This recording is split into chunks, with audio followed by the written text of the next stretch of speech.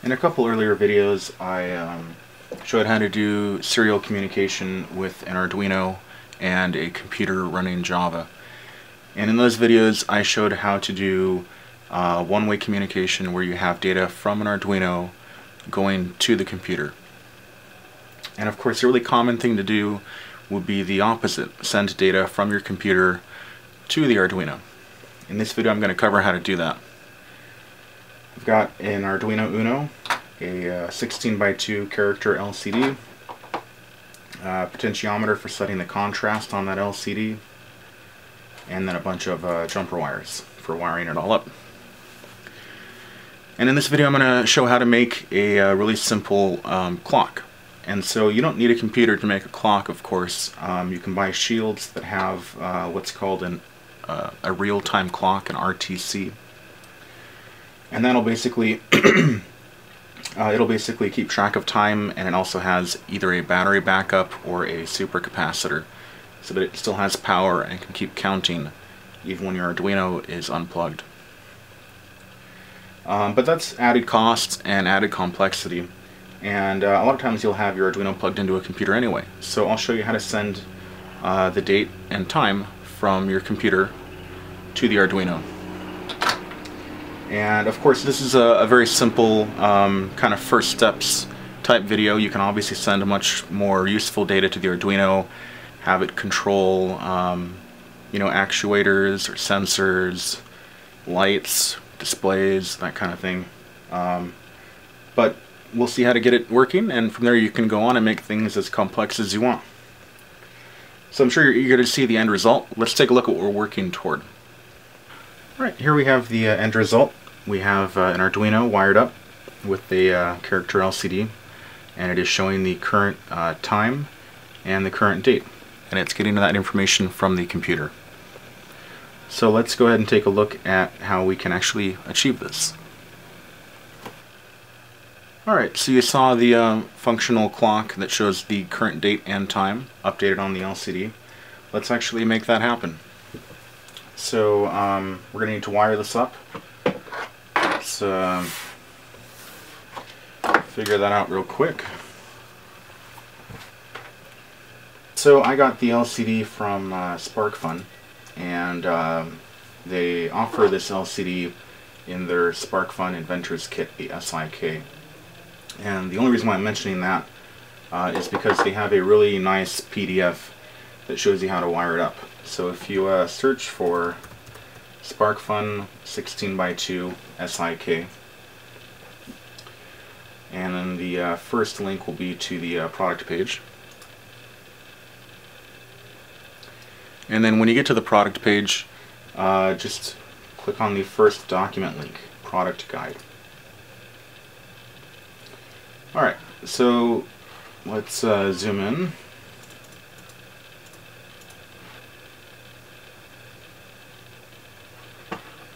And uh, right here is uh, where we want to be uh, looking. So we need to wire it up on the breadboard. And um, in case you're wondering, the uh, pinout is like that. So uh, VSS is right here, and then ground, or VSS, then 5 volt, then contrast, and so on.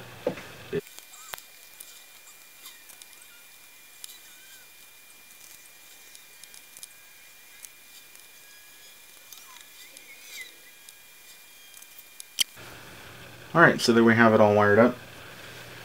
And uh, let's plug it in and see if it works.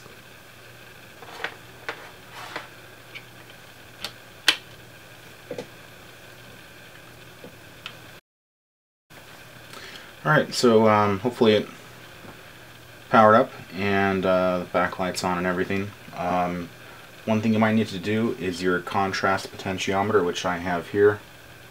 You may need to adjust if uh, your screen isn't readable like that you might need to adjust it. And I think I just popped it out of place.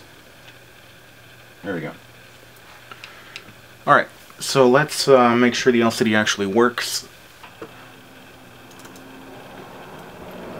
Alright so if you bring up the Arduino IDE if you go to file examples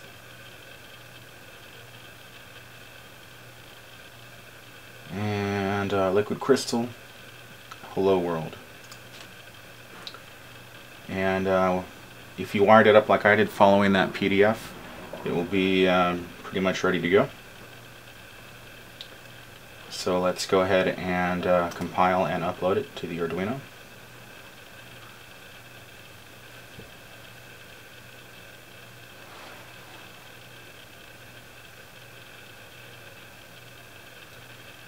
And there have it. So uh, if it worked, if you had your uh, wiring all correct, you'll see hello world and then a counter at the bottom.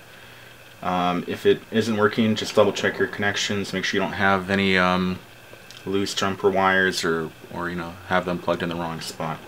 Uh, let's um, now actually do the, uh, the interesting part. Let's make it talk to the computer. Um, so we can get uh, data off the computer and on this LCD.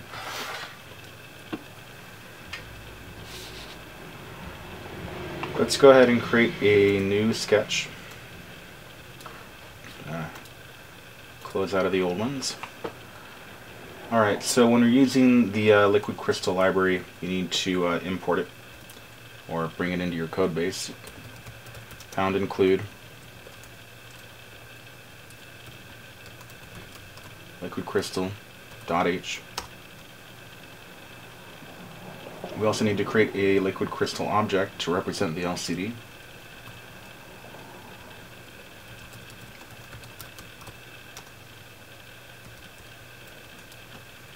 And we need to tell it the uh, pin numbers.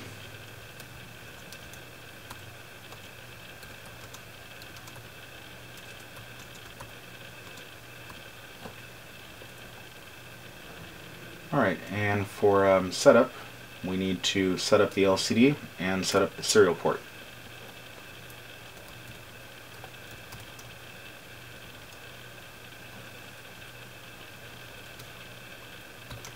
My LCD is a 16 by 2 LCD, which means it has uh, 16 characters uh, horizontally uh, and two rows. That's uh, how the majority of them are.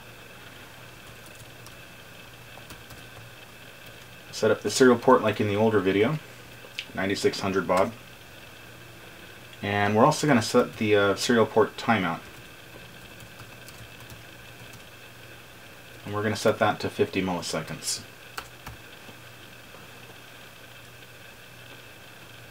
Um, if you haven't seen my earlier videos, um, be sure to check them out. I'll put a link to them in the uh, description below. Um, but I show how to install all the software that we're going to need. So if you haven't seen those, you're going to be kind of lost in a little bit. Um, okay, so down in the loop, the area where we're going to be doing most of the work, um, we're going to get the string of text from the computer.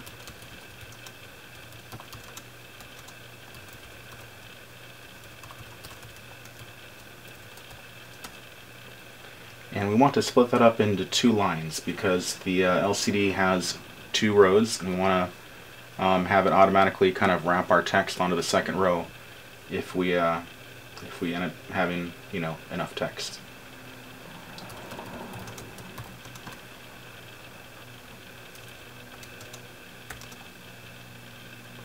And we're going to use a uh, method called substring and that will let you pull out part of a string. So the first we want to get the uh, first 16 characters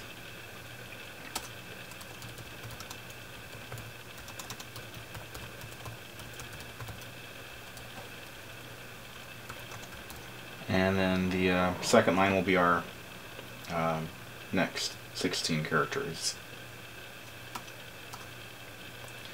Now what we need to do is if we ended up getting a line of text we want to erase the old text. If you don't um, you may end up having that old text um, remaining if you don't write over it. So we need to check if we got any text.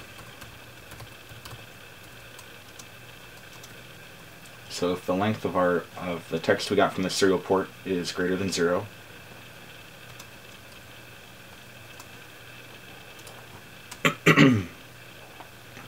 we want to uh, position the cursor on the uh, top left.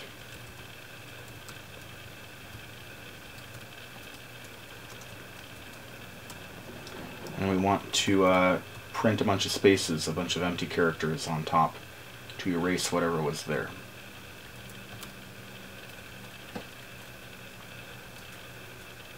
We need 16.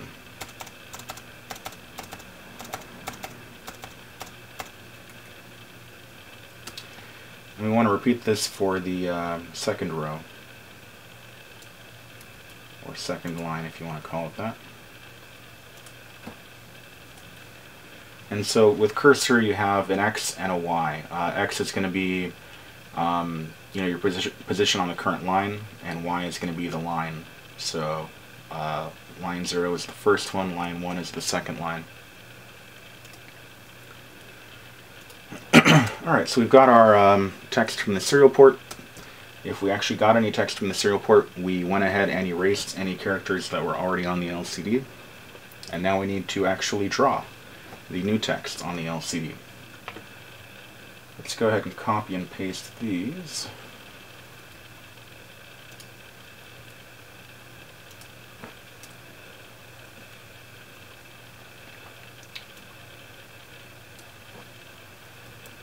Now we're going to print the actual texts.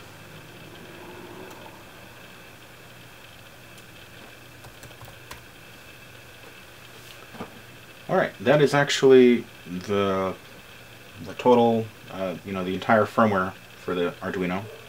Really not that complex. Let's go ahead and uh, build and upload it. Go ahead and save it. Alright, so it has uh, uploaded to the Arduino, and we can see here that we have nothing on the screen because uh, it has not received anything. If we click on the serial monitor icon in the Arduino um, IDE, if we now type text here,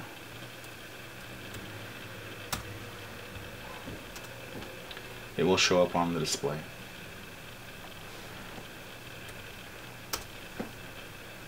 And there you have it. So um, now we need to write our Java program that will um, effectively do the same thing, but let us do it um, in a program, which is obviously much more useful.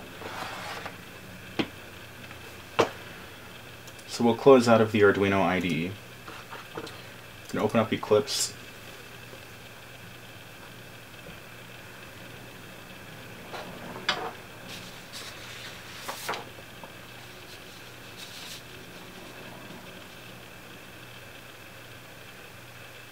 Alright, so this is the uh, project we did in our uh, earlier video on the Arduino. And this one was for um, graphing sensor data from the Arduino. And we're going to modify this to send data to the Arduino. And um, let's go ahead and uh, start doing that. Uh, again, if you haven't seen my older videos, check them out. You're going to be kind of confused if you haven't. And also this code uh, is listed in the earlier video, so you can get it there. And I'll put a link to the uh, new code also in the uh, video description. Well, we're no longer graphing sensor data. Let's uh, rename this. And I'm going to go ahead and call it, how about LCD clock? And you'll get a warning because we're uh, going to effectively rename the file, which is fine. Alright, we need to uh, get rid of the stuff that we're no longer using from the, uh, the earlier project. We don't need that variable. We don't need our line graph.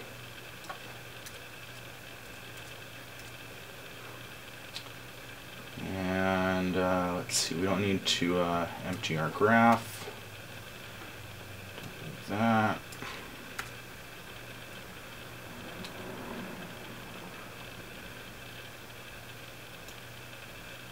Don't really need that.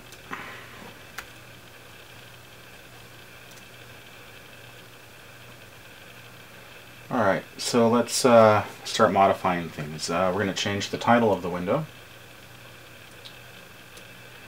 I'm going to call that Arduino LCD clock. For the size, we don't need it to be as big as before. Let's do 400 by 75. Uh, this is all good. Okay, so let's um, here we are at the connect button um, action listener. And uh, when we click on the connect button we're going to try and open the port. And uh, if we're able to we're going to change the button to disconnect. And we're going to disable the uh, serial port lists. And here's where we actually add uh, our new code so if we were able to open the port if this returned true we're going to change the text on the connect button to disconnect we're going to disable the serial port lists and we need to create a new thread that will send data.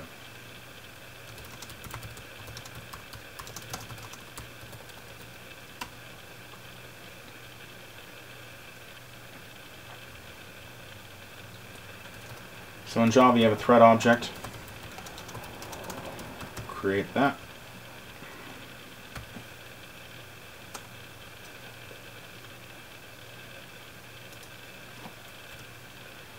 And uh, before we forget, we want to make sure that we start the thread.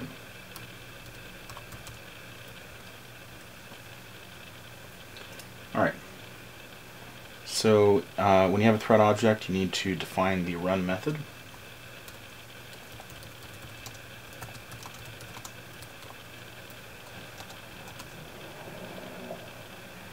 And in that method is where we're going to do um, all of our work. And uh, so at this point, we have uh, connect, connected to the serial port. And an important thing you need to do, uh, and if you forget it will cause problems, is you need to wait before you send anything to the serial port. On the Arduino, um, they have it set up so that way when you connect to the serial port, the microcontroller will reset. And they do that because you have to program it through the serial port. So uh, it will default to resetting. So we need to wait. I'm going to wait 100 milliseconds, you know, one tenth of a second. And uh, let's do that.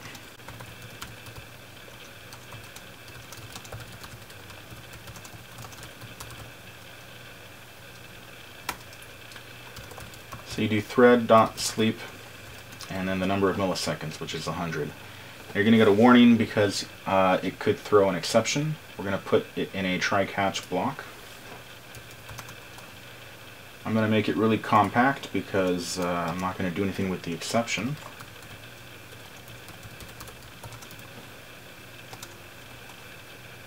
So there it is on one line. Okay, so we've connected. We've waited one tenth of a second, and now we need to uh, actually send the uh, data to it. So the uh, easy way to send text over serial port in Java is with a print writer. Let's go ahead and create that object.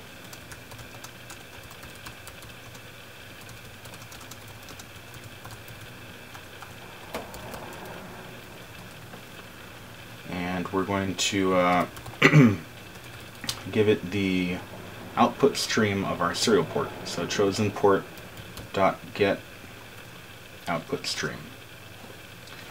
We need to import the PrintWriter class.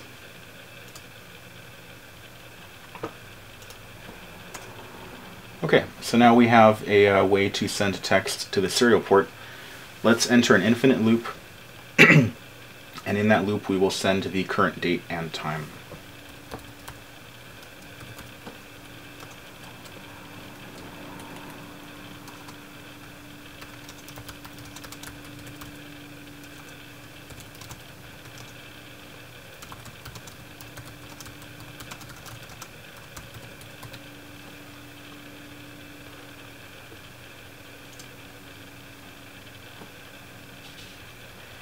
Okay, so our um, our way to write to the serial port is with our output object. So we're going to call output dot print. Oops. Dot print.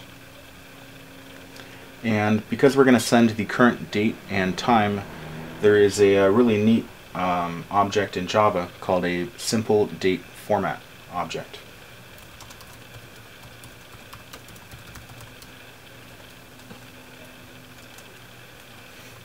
Now we need to import that class.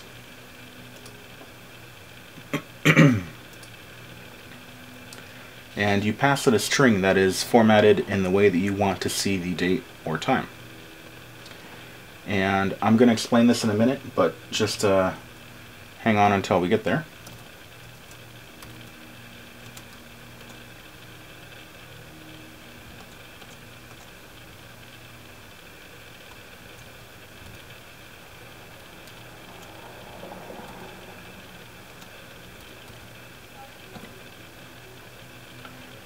Okay, so we have our uh, format string.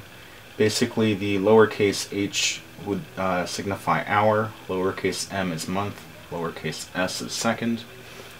A will uh, put either AM or PM. Capital M is month. Uh, you can do two capital M's, which will give you the month as a number, or you can do uh, more than two, and it will print out um, up to that many characters of the month name. So, like instead of um, 06, it would print out in June.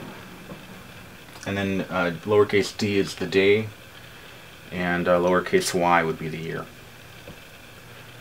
So that created a simple date format object, but it does not know what to uh, format. We need to have it format the current time. So if you call the dot format method, and we need to give it the current date and time. You do that by giving it a date object. We need to import the date object. And uh, there we have it. So we, we're getting the we're getting the current date and time. We're going to format it, and we're going to format it like this. Now before we get too far along, Let's uh, take a look at that format string and how you can uh, customize it. So search for simple date format. The uh, first link should be on Oracle's uh, documentation website.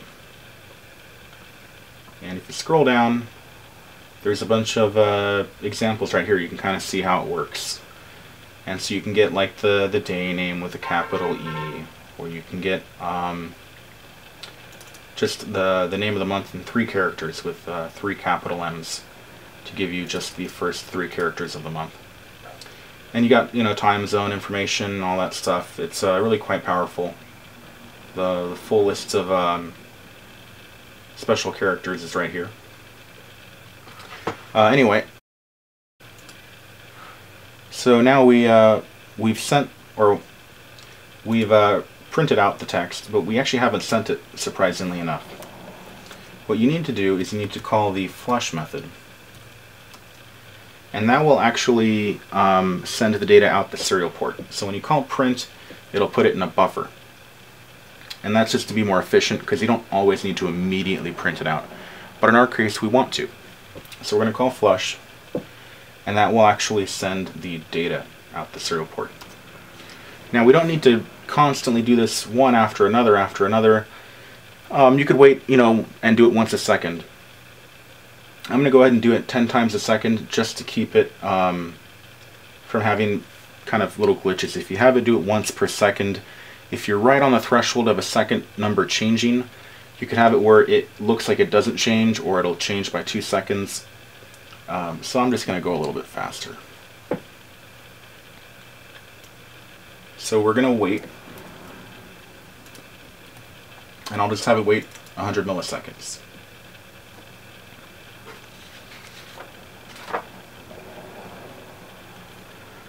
And that's uh, pretty much all we really need to do. So if we click on the, uh, the play button to start the program,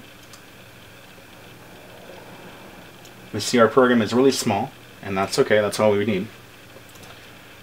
Pick the COM port for your Arduino, and uh, if you click connect you'll see that it sent the uh, date and time. Now I actually uh, forgot to put in, I missed one space. So we needed, uh, in this case, uh, one, two, three, four spaces. I think I only put in three. Let's uh, go back to that. Put one more space there. Alright, let's try again. Alright, so if we connect again, there we go. So you can see that we have the uh, current, the uh, hour, minute, second, either AM or PM. We have the month printed as a, a name, not a number. And then we have the, uh, the day and the year. And so this is a, uh, a fairly simple project, uh, but you can see that you can kind of get an idea for how things can be expanded from here. Um, you can obviously send much more complex data. You could, you know, create a graphical user interface that will let you control, you know, a motor or a, um, a valve or a, a, light. And you can create things uh, as complex as you want. So I hope you enjoyed the video. Uh, if you have any questions, uh, please leave them down below. If you have any comments, uh, good or bad, please leave them down below. If you liked the video, please give it a thumbs up. And uh, I hope you enjoyed it. Good luck.